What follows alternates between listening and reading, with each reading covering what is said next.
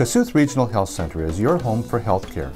Even if you have a procedure done at an out-of-town facility, you can come home to KRHC for swing bed or skilled care, physical therapy, occupational therapy, or home health care.